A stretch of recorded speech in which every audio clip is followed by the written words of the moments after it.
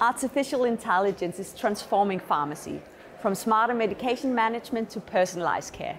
Joining us is Dr. Parisa Vatanka from Digital.Health to explore how AI is shaping the future of pharmacy and what it means for pharmacists around the world.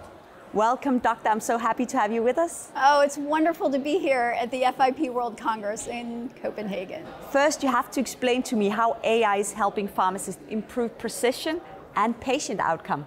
We are living in extraordinary times, right? So AI has the opportunity to really augment and scale the value that pharmacists bring in medication use, uh, safety, and efficacy.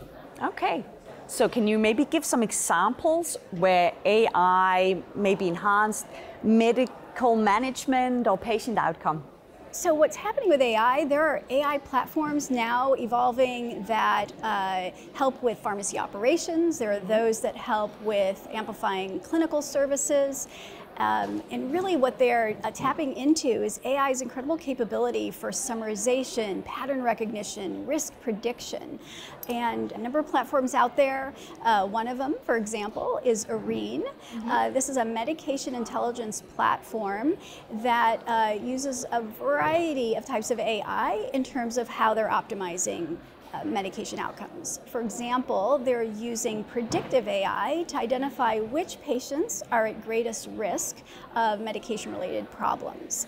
And then they're using adaptive AI to really uh, fine tune and tailor to each of the patients. And they're using generative AI to really streamline workflows to generate uh, recommendations uh, to the providers and patient friendly materials uh, to the patients it's able to uh, really uh, get the outcomes that we'd want at scale. They're seeing results where there's uh, lower hospitalization rates, there's fewer ER visits, they have greater adherence to therapy, patients are more engaged, and really importantly, our providers are more satisfied. Instead of spending all this time trying to gather the data and comb through everything, they have this efficiency because AI is giving them actionable insights, and then now um, they can spend more time um, caring for their patients. So that makes AI sound fantastic in this sense, but I'm sure there's some challenges as well.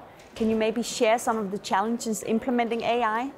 What's really important is the people and processes, right? So I think we're now we're at a time where it's really important for each of us to get really educated on what kinds of tools are even out there, get educated on the types of tools, understand the capabilities, to be able to build trust in these solutions, and figure out how will we integrate them into our workflow and care processes today and I'll tell you, we may find that it's not just taking these technologies and integrating them into current care models, we actually may find that we're going to redesign, reinvent, reimagine the models of care uh, now and into the future.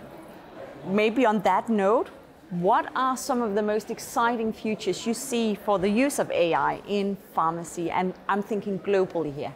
There have been incredible advances at the intersection of health and technology through the years, right? Health apps, wearables, digital diagnostics, digital therapeutics. Oh my gosh, if we get started on digital therapeutics, I can talk forever because there's this new opportunity where we're really going beyond drugs and biologics to include software-based therapy for the prevention management of treatment disease. There's a lot that pharmacists can do to help patients to match them with the right technologies, different types of wearables and sensors that can help give give them real-time actionable insights to guide them in management of their health. And now you layer on AI into all of this, and now it just takes things to a whole other level of possibilities because of this ability to really bring greater efficiency and insights like never before. So many things to be excited about. I'm so excited that you joined me here today and enjoy the rest of your conference. Thank you so much. Oh, thanks. Absolute pleasure.